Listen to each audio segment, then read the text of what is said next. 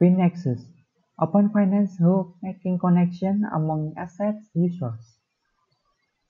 FinNexus is the new open finance protocol being built on the Wanchain blockchain.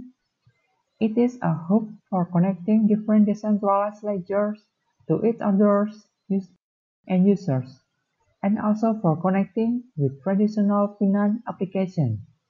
The first iteration of FinNexus will be a marketplace for hybrid decentralized or traditional financial products.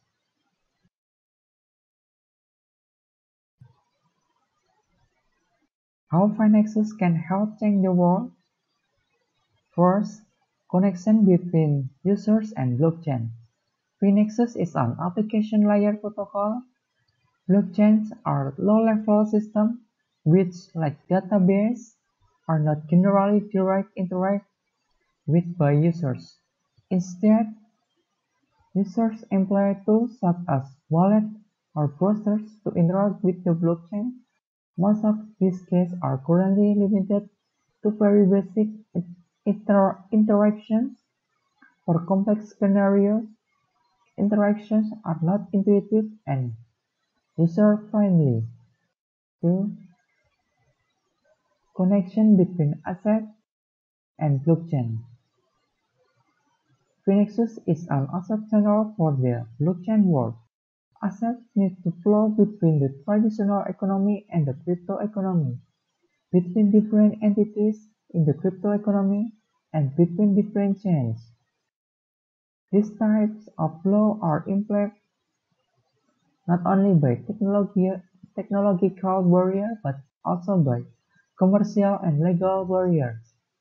FinNexus aims, therefore to provide not only technological connection but also legal and business connections. By setting up this connection at business, legal and technological levels, FinNexus aims to establish a channel which allow for the frictionless flow of assets. 3. Connection among different service providers.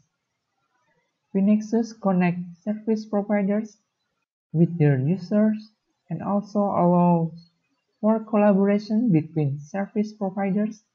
The development of the crypto industry will inevitably expand into more and more subdivisions.